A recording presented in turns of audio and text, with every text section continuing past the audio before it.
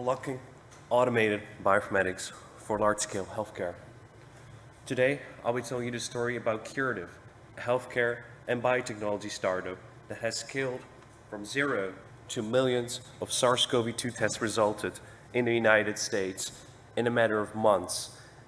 I will tell you about how Curative has scaled up the sample collection process in multiple axes, how we have set up a bioinformatics pipeline and AWS infrastructure to analyze COVID sequencing data for healthcare monitoring.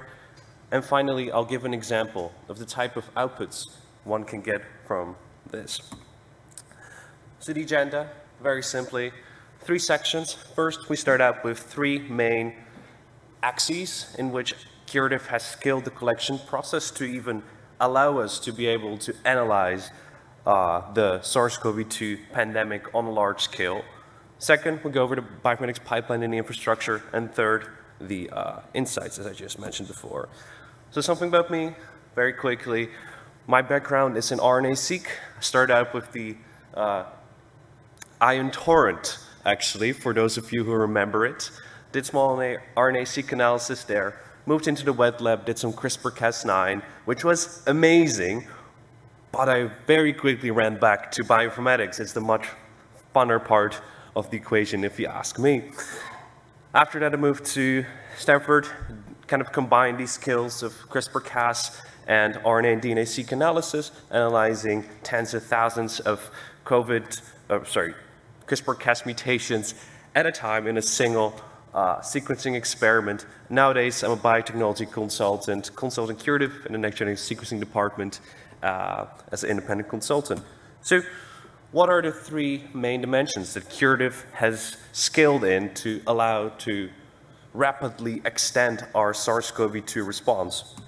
First, curative has made it supremely easy to set up your testing location anywhere in the country. And here we have the three main ways, shapes or forms in which Curative has done this. So first, we have the kiosks slash vans. Very simple. You can set it up in any parking lot, can handle about 250 to 300 tests a day, anywhere in the country.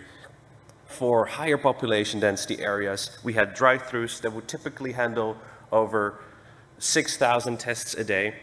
Uh, and we have indoor facilities that could handle up to 500 tests a day in, uh, let's say, areas where it's more difficult to set up a uh, localized van. Second, Curative has developed their own internal software to enable the uh, scheduling of 100,000 of tests um, at a time. So at the peak, Curative could handle 100,000 daily users at a time for scheduling their uh, appointments. Uh, we had an internal LIMS that allowed us to track capacity and samples in real time across the whole uh, workflow. And this has also enabled Curative to keep their eye on the ball and ensure 24 hour to 48 hour turnaround time in almost any place in the country.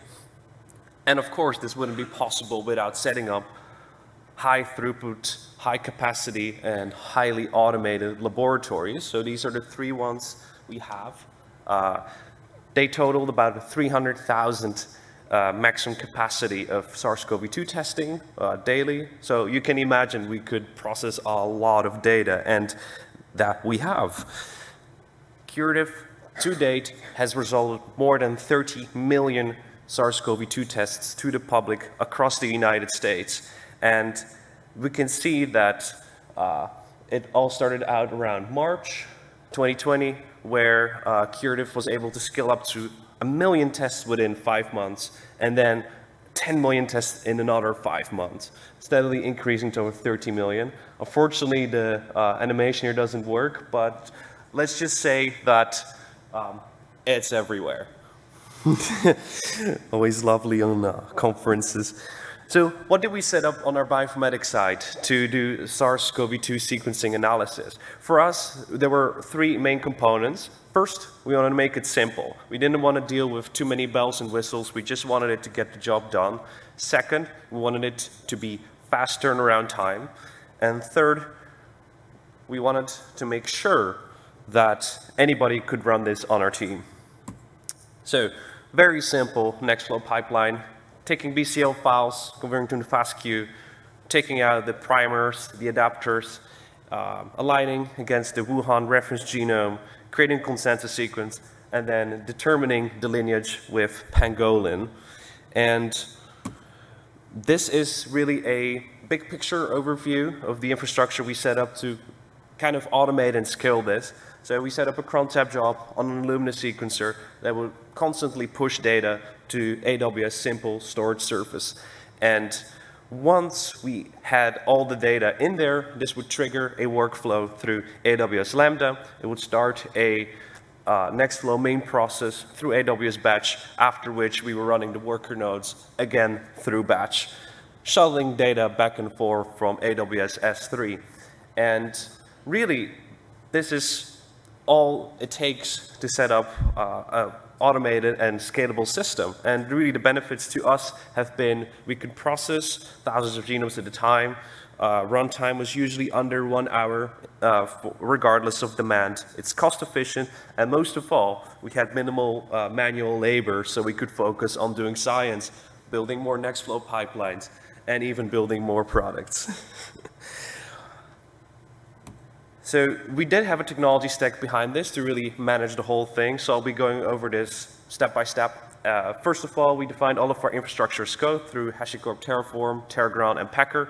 For those of you who are not aware of what this is, you basically define your infrastructure in software, and you're able to generate the infrastructure to your software in the cloud, which enables it to be reproducible, transparent, auditable, and flexible and this has really allowed us to make sure that we can quickly iterate in our infrastructure part.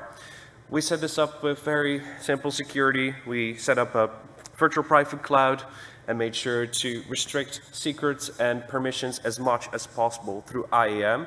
So even if an attacker would get through, you don't have to worry too much about the consequences if their IAM role doesn't permit it. Third, uh, the container orchestration, this is what I alluded to before. We were using Nextflow and AWS Batch, and we were using the Elastic Container Registry from AWS, so we don't get rate limited by Docker Hub. Uh, set up the automations with AWS Lambda, so we're using event-driven architectures uh, for uh, automation. And for those who don't, don't know, this simply said means if event A happens, run code B. So in our example, if an RTA complete.txt file comes over from your Illumina sequencer on S3, that indicates you can start your pipeline, and we run this serverlessly, so we don't have to worry about maintaining a service to process these requests. And finally, we were using CloudWatch and the billing console to really drill down on where are costs generated across the pipeline. And together with the infrastructure as code, we're able to tag every piece of our infrastructure and we're able to precisely determine where price performance can be tuned. So what's an example from an insight that we can generate from this data? To date, Curative has sequenced over 33,000 SARS-CoV-2 genomes, most of which are deposited in public databases like GISAID. And here on the left, we can see an example graph that we can generate from this. So on the y-axis, we have the percentage of samples at that point in time, and on the x-axis, we have two quarters of uh, pandemic. And what we can see is, uh, in this specific window of time, it starts out with BA1, which is about over 90% of the samples at the start of that year, and it gradually gets taken over by BA2, after which we see a lot of different subvariants of BA2 pop up, but then we see there is a star there. It's BA2.12.1 that is rapidly taking over BA2. And what's interesting to see is that the rate at which it's taking over uh, BA2 is much faster than uh, BA2 took over BA1. And this is something we all know and remember from the pandemic, right? We were constantly dealing with more and more infectious variants. And I think it's really cool to be able to see that in an actual graph. But uh, having more metadata here also allows us to kind of drill down on the more localized level. So here we look at the same data from the plot on the left. Uh, colors are not matched, by the way, so be careful of that. Uh, we have four different locations, California, DC, Pennsylvania, and Texas, and we can really see how the wave develops uh, commonly but also differently across these regions. So we can see the uh, conversion from BA1 to BA2 happens everywhere, right? We, we, can very clearly see that trend. But, for example, the BA2.12.1, the big yellow part on the left graph, uh, the third row in the right graph, we can see develops quite distinctly in different regions. So for example, we can see in DC and Pennsylvania, we had a more um, sustained increase of this variant over time, whereas in California and Texas, we kind of see an absence and it just explodes out of nowhere.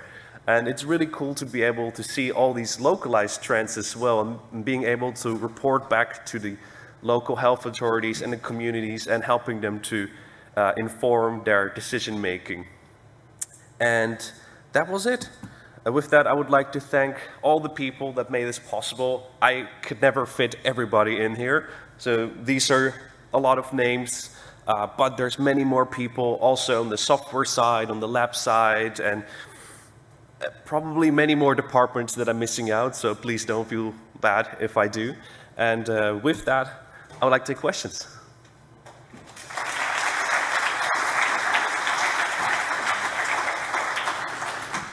Thanks very much, Tony. Um, we'll try and get back on track, so one, just one question again. Um, Simran asks, what are your practices for version control of your bioinformatics pipeline?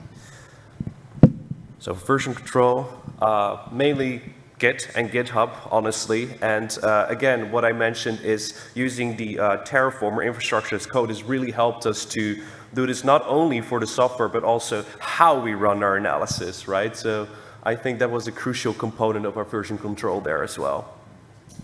Do you go back and rerun data when you make updates to your analysis pipeline?